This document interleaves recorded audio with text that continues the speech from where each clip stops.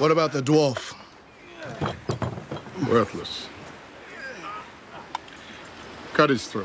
Wait, wait, wait, wait, wait! Let's discuss this! And then chop off his cock. We'll sell it for a fortune. The dwarf's cock has magic powers. Wait, wait, wait, wait, wait! You, you can't just hand a dried cock to a merchant and expect him to pay for it. He has to know it came from a dwarf. And how could he know? Unless he sees the dwarf. It will be a dwarf-sized cock. Guess again.